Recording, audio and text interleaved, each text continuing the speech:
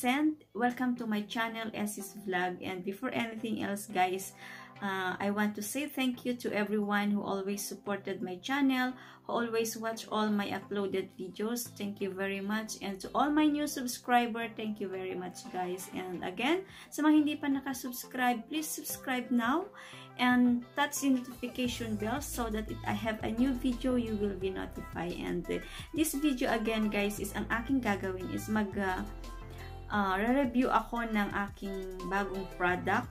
Ang aking unang, dahil marami kong i-review guys, so ang aking unang i-review ay yung aking, uh, ito, Baby Holic Everyday BB Cream.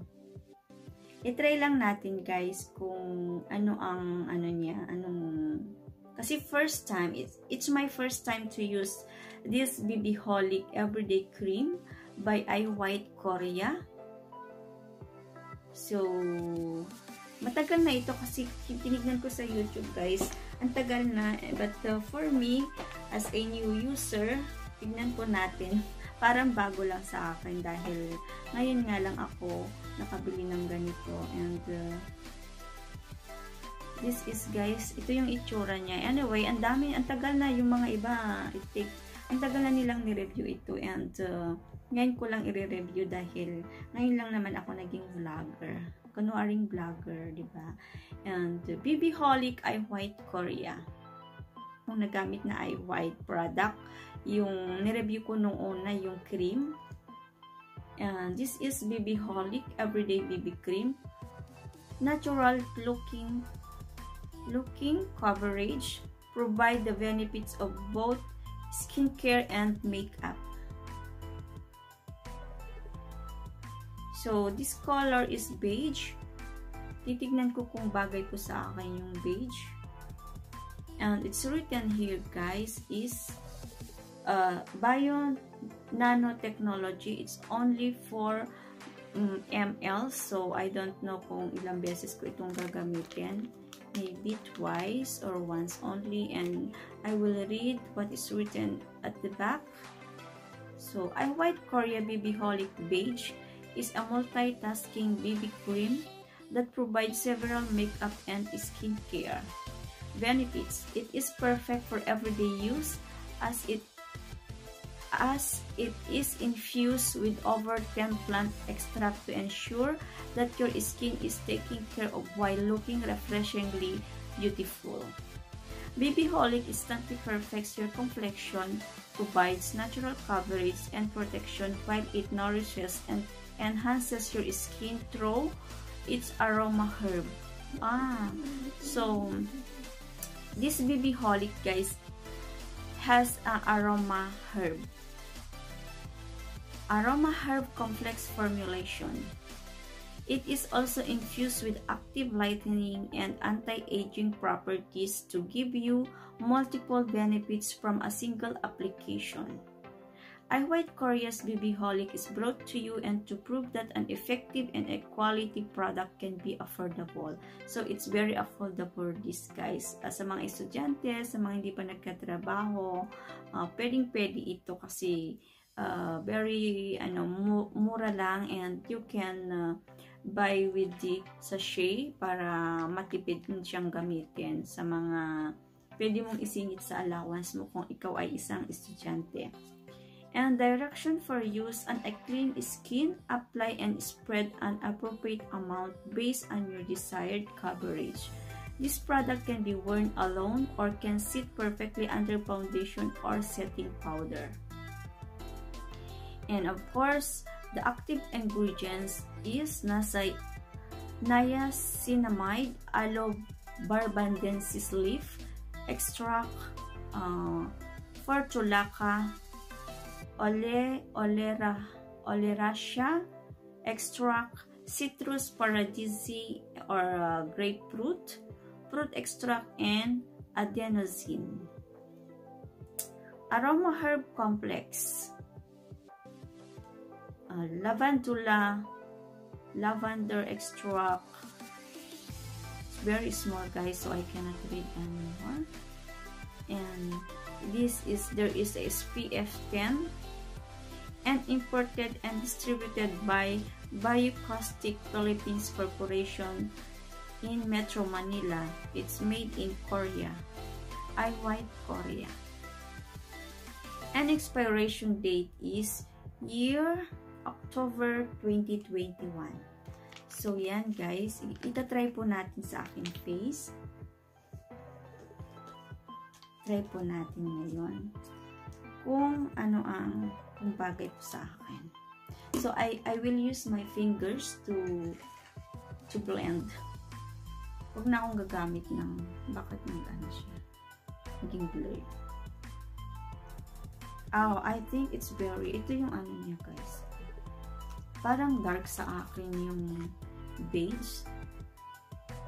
Tingnan natin kung ma-full coverage kasi ako meron akong uh, a very light uh, spot, brown spot. Oh.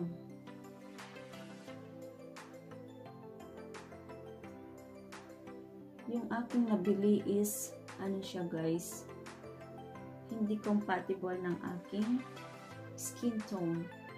And ah, mabango siya in fairness. Mabango siya guys. At saka medyo malamig sa aking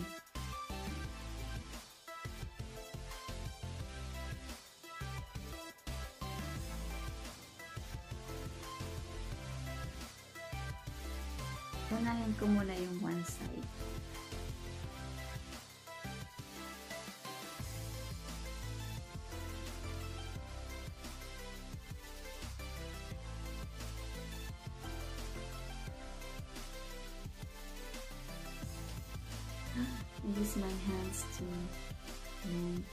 And it's easy to blend but uh, hindi siya hindi niya pinaya yung aking ano brown spot. Ito oh. Hindi niya kinaya guys.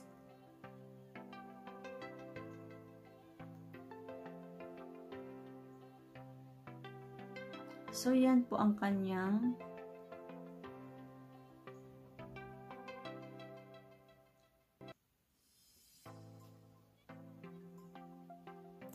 difference niya. Yung pores ko, kasi may pores din ako na maliliit. Hindi rin niya masyadong na-cover up. Pero okay lang naman.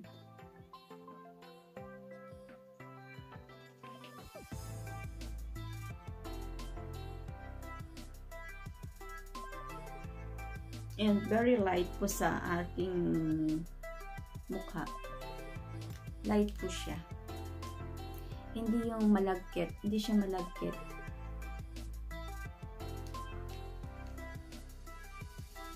Katamtaman lang yung pagka-cream niya guys. Hindi siya malagkit na i-apply.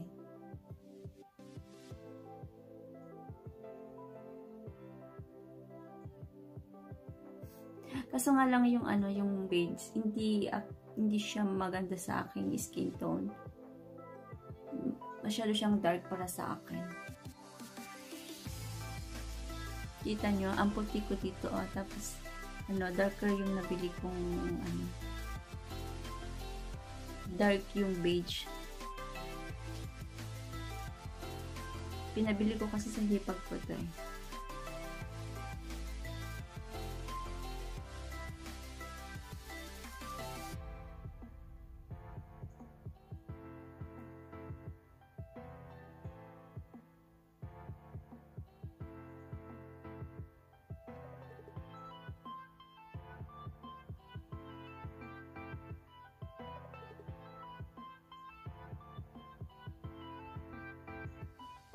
Parang umitim ako.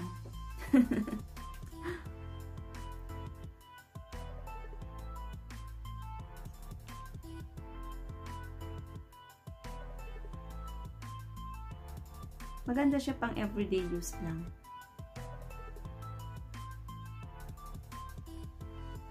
Medyo kapalan ko na lang dun sa may ano sa may parteng may brown spot. Kasi meron tayo guys. Yan.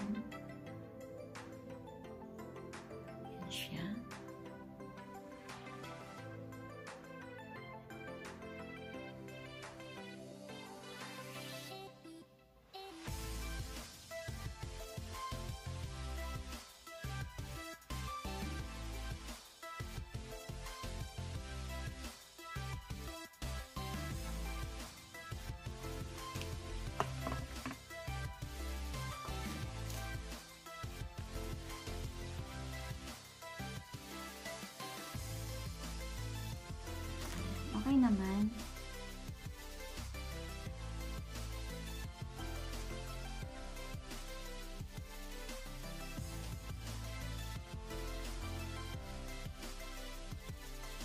Okay naman pala siya, guys.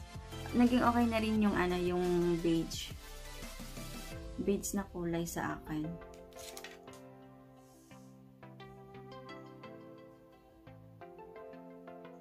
Medyo malamig sa mukha. Nung ina-apply ko, medyo malamig siya.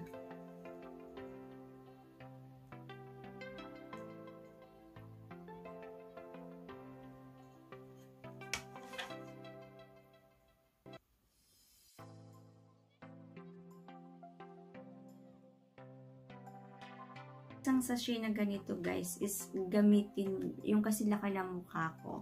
Magagamit mo siya two times. Oh, so yung isang sachet na nito is pwede na siya ng 4 days kung everyday kang gagamit ng foundation. May pabans tayo ngayon guys. So, iuso natin ng may buns. Ayan guys. Hindi naman siya malagkit. Okay siya. Okay naman. Hindi siya malagkit siya totally full coverage talaga. Very light. And, uh, pag ako, pwede nang hindi ako, hindi ako magpolvo para hindi ako magmukhang mumo. Pwede na rin siyang hindi lagyan ng polvo. Or, or any uh, uh, press powder. Pero hindi niya natakpan yung mga pores ko. Kasi may pores ako dito. Hindi niya natakpan. And then, yung dark spot ko dito, hindi niya natakpan din. But anyway, this is not a strong foundation. Okay, or a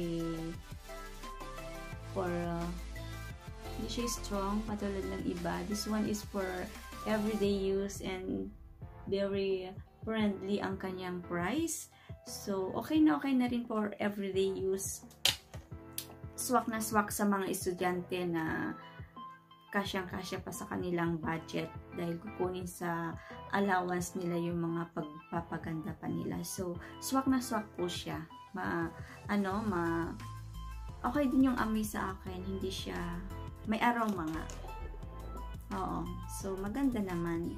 Maganda naman siya, guys and you can use this every day bali ano na lang ang ginawa ko is uh, trinay ko and review kasi hindi ko na siya matetest where kung gaano pa katagal sa ating mukha and uh, ito yung kanyang so maybe I will use this for my this week para masayang naman kung hindi ko magamit diba kahit nandito lang ako sa loob guys kailangan mag foundation rin ako kasi yung klase ng trabaho ko nandito lang sa loob ng bahay. So, ang gamitin ko pa rin sayang. Binili ko eh, diba? So,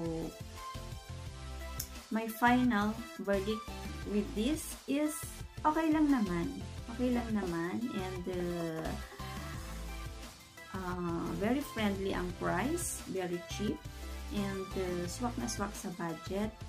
And, um,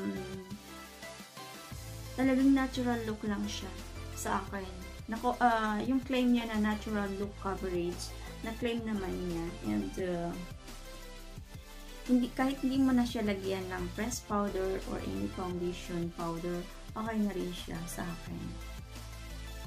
And, uh, hindi siya malagkit sa mukha. Oh, hindi siya malagkit, guys. Hindi katulad ng iba na kahit mumurahin, hindi siya malagkit.